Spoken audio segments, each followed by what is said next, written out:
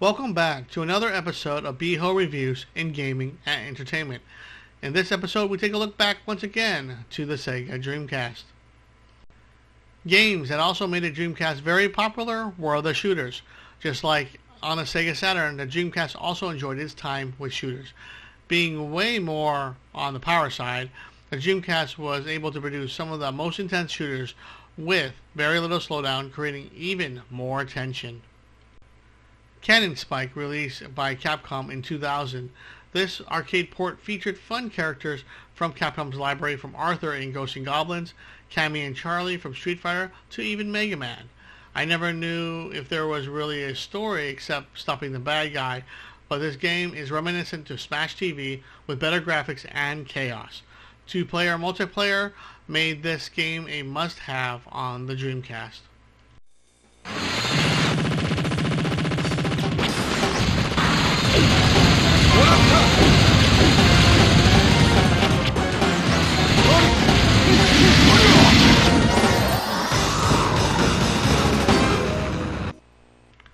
Rainbow Cotton was released in 2000 by Success Corporation and plays like Space Harrier in 3D setting in comparison to its 2D roots.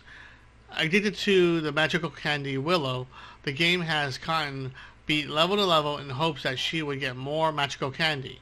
The game is similar to other rail shooters like Star Fox for the Super Nintendo and Panzer Dragoon for the Xbox and for the Sega Saturn.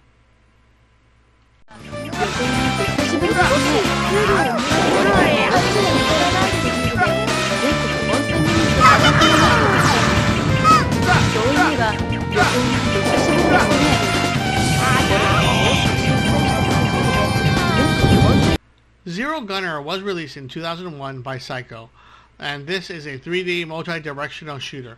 It is up to the player to change direction of the shooting and also avoid enemy fire at the same time. The game is more about the boss fights as the levels might be one to two minutes before the boss appears. Very intense and beautiful game where you need to capture the video so that you can enjoy the visuals without being in the game constantly dodging enemy fire.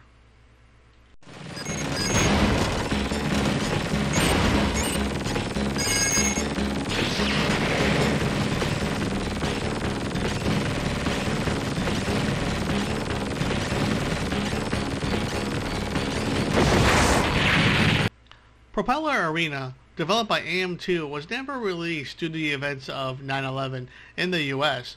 Years later, the game was made available for free download, and boy, is this game a gem. Meant to be played online, the game is an arcade-style arena-based action shooter. You will fly many different arenas to shoot down as many possible targets before time runs out. The player with the most kills will win the stage.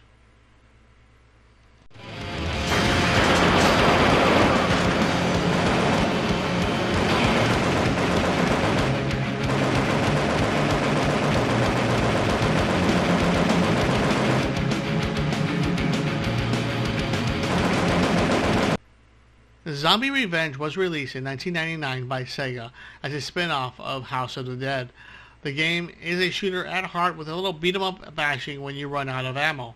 Very simplistic game where you need to beat all the enemies before time expires and progress to the story or the next section of the game. Very Blind game was made in the arcades and ported over very easily. The game was just that, an arcade perfect port with little or no added bells or whistles. That's it for me on this episode of Beho Reviews. Please like and subscribe if you like my videos. Beho out and Greg, take us out of here.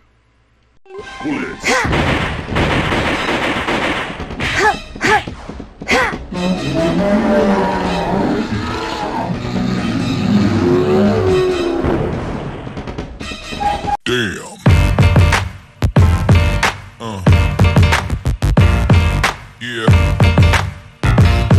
Uh. Yeah. Uh.